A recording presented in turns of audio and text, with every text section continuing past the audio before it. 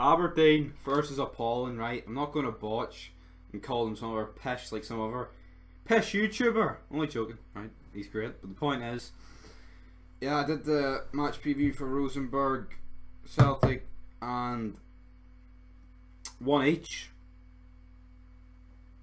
So, I mean, all Aberdeen can go through a one each, like, can? Either can, because they get away goal.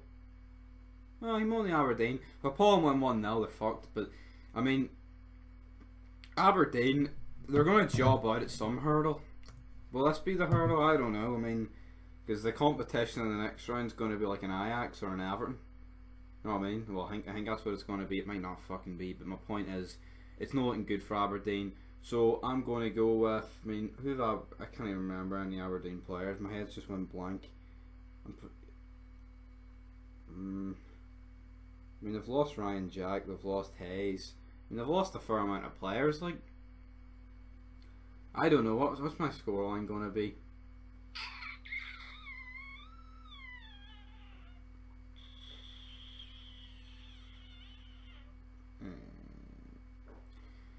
I don't know, fucking Aberdeen, Sheepshaggers. I want them to go through, obviously. I mean, do Scotland proud, right?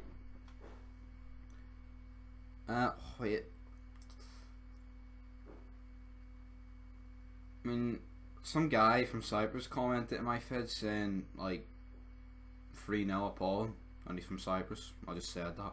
But my point is, would it be? I'm going to go 2 0 Apollon. I like Aberdeen, but I think this team will probably just edge it. Even though 2 0 doesn't sound like edge, but edging, but in terms of the whole tie, it's an edge. The rated R Sheep Shagging Star Aberdeen.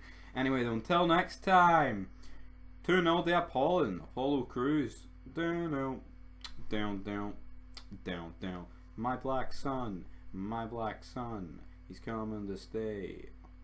Kurt Angle. Anyway, until next time.